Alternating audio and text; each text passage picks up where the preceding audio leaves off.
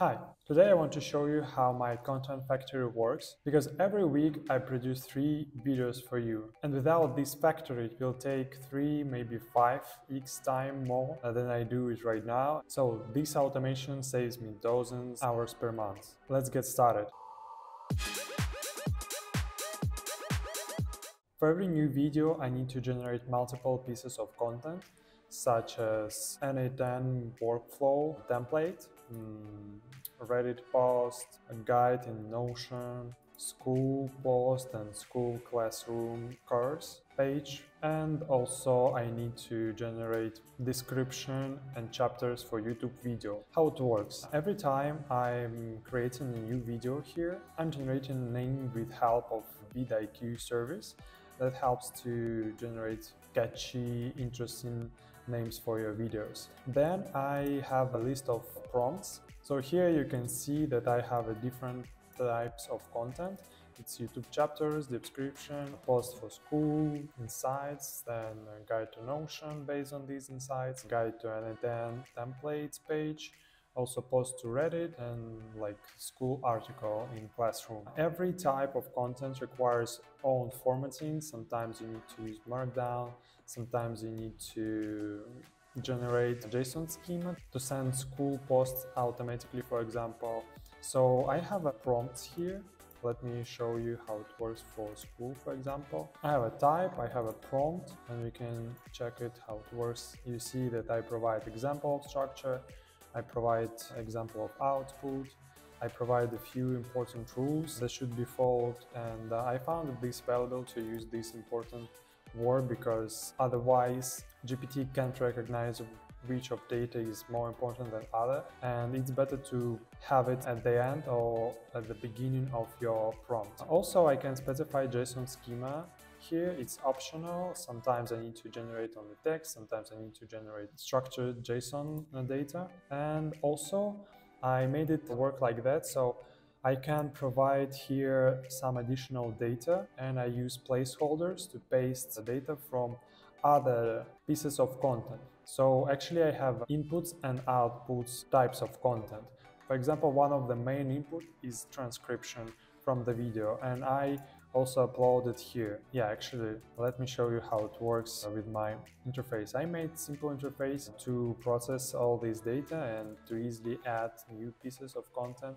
So every time I want to generate new video, I add here my name, creating video, then I have new records in database like vector video table. Then I need to add few inputs and actually it's a transcription from video that I automatically generate with the Premiere Pro. And then I have an input template. It's actually just an N8N template JSON that's copied from an N8N.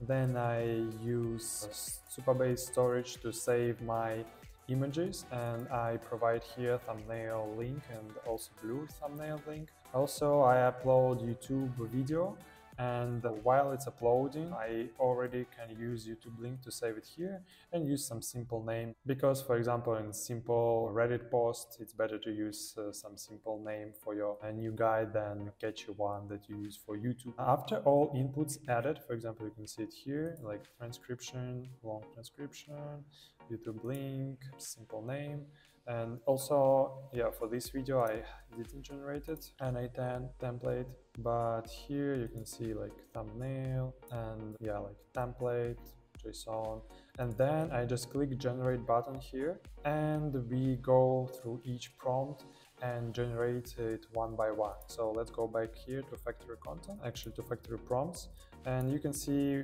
I have an order so I have it because sometimes I use previous steps result uh, that was generated, for example, guide for Notion in the next step, for example, in guide in N8N. So these placeholders just uh, replaced in code in the N8N workflow. Here I will show it in a minute with data from appropriate type. For example, here we will paste our transcription from the video, this one, and we will send to ChatGPT and ask to generate simple short list of chapters. And the user message will provide transcription itself. So I have here a list of needed types, and this helps me to get needed types before generating this piece of content. Also, before I used thread, separate thread for each prompt, but I understood that it works worse than creating new thread for every new prompt and every new video. So yeah, it's just deprecated thing. When I click here, generate content, I run this scenario. We get video, we get list of prompts, and then we loop over these prompts. And here in the code, I'm just retrieving all content generated for this video. I can show it because I have a secret key here for Supabase. Yeah, but we just retrieve all generated content for one video. So for first prompt, there will be only input types of content, but for each next step, we will also can gather generated content for output and use it in to generate next output data. For example, you can see it here. So we use output guide insights. It, it, works like I asking GPT to get insights from the video because GPT can understand a template, but it can't understand all details. And I'm asking to enrich with some insights that was mentioned by me in video. And this content actually not using for publishing anywhere so it's sub step for generating next part of content. And here you can see that I use output guide and output guide insights. Yeah so something like that. Yeah I'm just sending to ChatGPT and save it as a content so after I'm clicking, I see that a new piece of contents pop-ups here and only I need to do is just copy, for example, copy these chapters and paste to YouTube.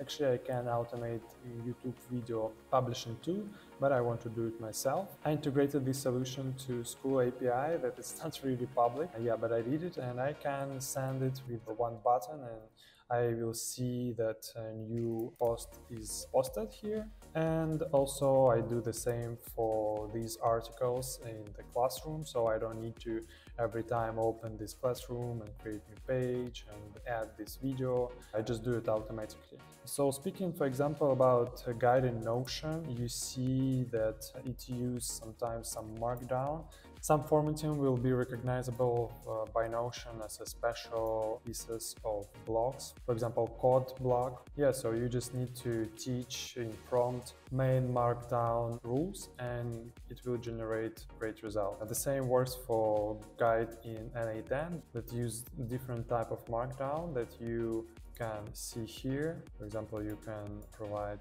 different links and uh, different pieces of code. And also I have it here, for example, it, it will be a link, like text with link, and it will be image with link. Yeah, something like that. This is how I automate my content. Maybe you have some additional sources like LinkedIn, Twitter and other different services uh, that could be also automated and you can even post automatically in these sources. So if you're interested to see more guides, please like this video, subscribe and please leave the comment what you want to see to be automated and we will do it for you. Thank you for joining me today. Have a good one. Bye.